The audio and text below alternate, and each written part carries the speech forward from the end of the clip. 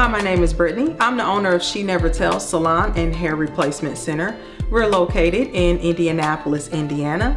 We specialize in serving sophisticated women looking for high quality, natural looking, customized hair weaves, wigs, and other hairstyles. If you're looking for a customized hair experience, please visit me at shenevertells.com. From there, you can schedule a consultation and I'd be happy to sit with you and discuss your hair goals and figure out how I can help you achieve them.